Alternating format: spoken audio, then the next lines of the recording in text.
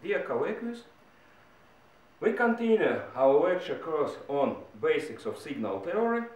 As I mentioned, this course is oriented for power engineering students. So, today we will uh, try to uh, look a little bit deeper into uh, signal mutual influence. At first, I want to present, or introduce if you want it, uh, one signal. It will be signal generator. So, what it will be? It's in kind of old school. We will have an electronic valve where cathode is earthed. Anode will be loaded with resonance circuit. It will be plus 250 volts.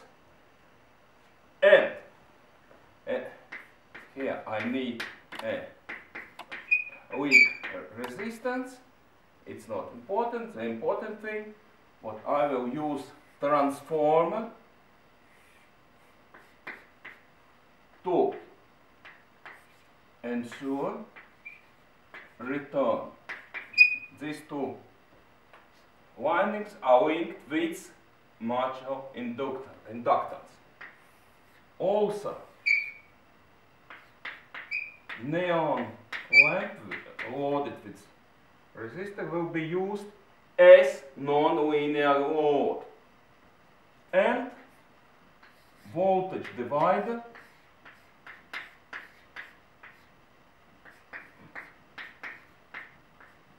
will be used to scale down the signal. I, I will need a lower voltage because this generator without divider produces quite high voltage, over 100 volts.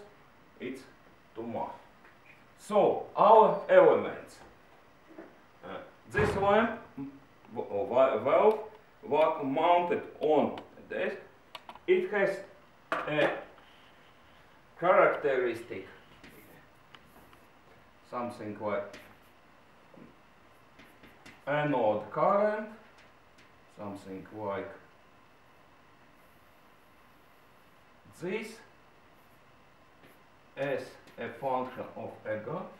It's a non-linear, we can present it as non-linear resistance func as a function or function dependent from grid voltage. Okay, it is again mounted on a stand. This toroidal transformer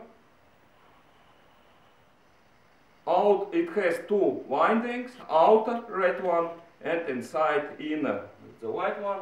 The outer red one has inductance of 200 millihenries, inner one uh, 200 microhenries, inner one 90 microhenries.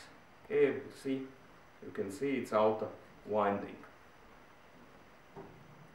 This neon discharge lamp will be used as a voltage limiter. It will grow red when generator will operate and the main function of this valve is to uh, make a voltage limiting load for our generator. This radius will work as divider and have this come here. This air capacitor, I, will, I can show it from other side. Don't, do we see it? It's variable condenser. I can change its, its capacity till 1 nanofarad. So let's try to uh, assemble the schematics and switch this generator on. Let's see what happens.